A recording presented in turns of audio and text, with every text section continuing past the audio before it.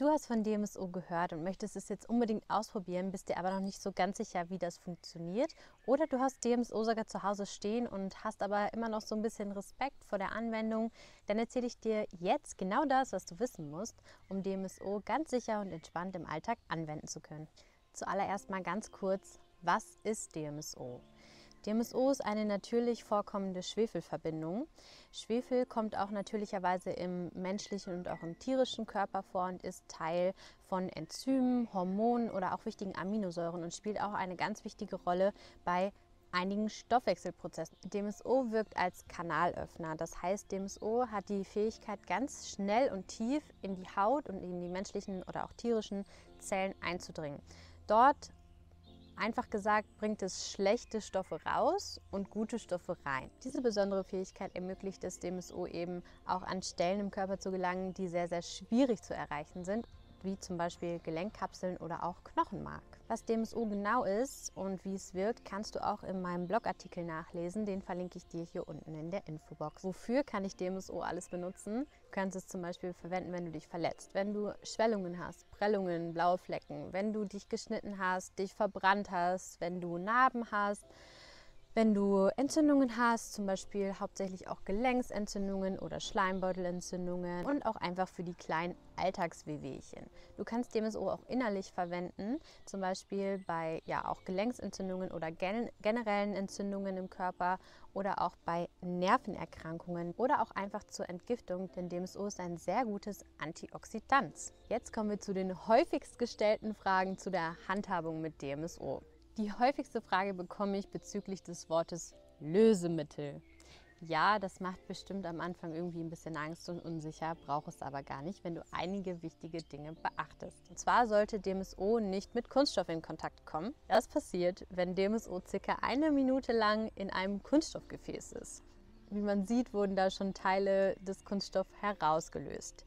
Deswegen sollte DMSO immer nur in Glasgefäßen gelagert oder auch beim Umfüllen verwendet werden. Ich verwende dazu immer diese ganz praktischen Braunglas-Pipettenflaschen, wo dann auch gleichzeitig schon eine kleine Glaspipette drin ist. Viele Fragen bekomme ich auch immer zum richtigen Mischverhältnis oder ob man DMSO auch pur verwenden kann. Ja, man kann DMSO pur verwenden, würde ich dir aber nicht empfehlen, wenn du gerade erst anfängst, DMSO zu benutzen. Denn DMSO hat verschiedene Wirkungen auf zum Beispiel die Haut.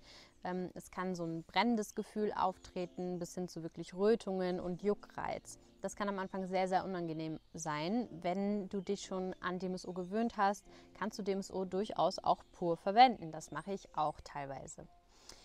Jedoch gibt es so Empfehlungen, an die man sich halten kann, ähm, die dir so einen Richtwert geben, quasi wie du dein DMSO an bestimmten Körperstellen verwenden kannst. Also man teilt das quasi auf nach Körperregion, Gesicht und Dekolleté, dann ähm, Oberkörper und obere Extremitäten und Unterkörper, also sprich Beine und Füße.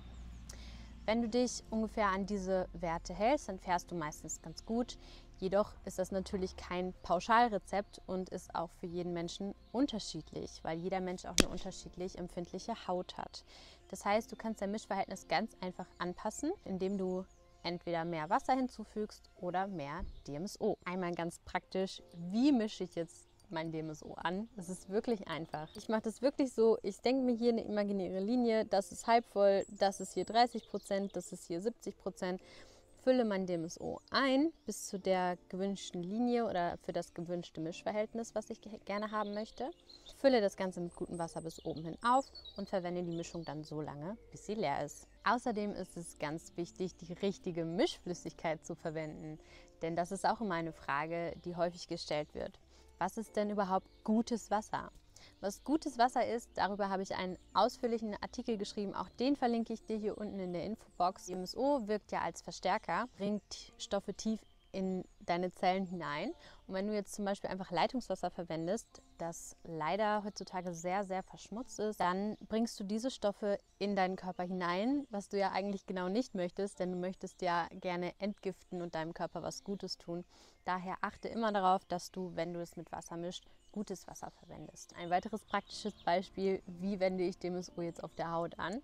Ich nehme einfach hier meine Pipette, tropfe da ein paar Tropfen auf die betroffene Stelle und tupfe das Ganze dann ein. Wenn du es eintupfst, dann öffnest du quasi deine Poren, aktivierst deine Poren und so kann es dann gleich viel schneller und tiefer eindringen. Noch ein ganz wichtiger Hinweis, wenn du Medikamente nimmst, wie ich eben schon gesagt habe, DMSO verstärkt alles, was ihm quasi in die Fänge kommt. Wenn du jetzt also Medikamente benutzt, wie zum Beispiel Blutverdünner oder du nimmst Schmerzmittel oder du benutzt Blutdrucktabletten, dann solltest du dir im Klaren sein, dass DMSO die Wirkung noch verstärkt. Das heißt, dass du möglicherweise die Dosis deiner Medikation anpassen musst und das solltest du natürlich am besten mit deinem Arzt, Heilpraktiker oder Therapeuten absprechen. Außerdem höre ich ganz oft irgendwelche komischen Warnhinweise, dass man aufpassen muss, dass DMSO gefährlich ist. Das stimmt alles nicht. Ich kann das bestätigen. Ich benutze DMSO bereits seit fünf Jahren. Ich benutze DMSO auch teilweise pur und mir geht's gut. Mir ist noch nie was passiert. Und wenn du einige wichtige Dinge beachtest, so wie eben aufgeführt, dann ist DMSO absolut sicher wo du DMSO kaufen kannst und was du unbedingt beim Kauf beachten solltest, das kannst du hier unten in der Infobox auch noch einmal nachlesen. Ich hoffe, deine Fragen sind jetzt beantwortet und du kannst jetzt richtig durchstarten mit DMSO. Wenn du noch Fragen hast, dann schreib sie einfach in die Kommentare. Ich beantworte all eure Fragen. Weitere Videos zu DMSO zu ganz bestimmten Anwendungsbereichen findest du bereits in meinem Kanal. Ich würde mich freuen, wenn du einfach mal durchschaust. Ansonsten wünsche ich dir jetzt ganz viel Spaß beim Ausprobieren und bis bald.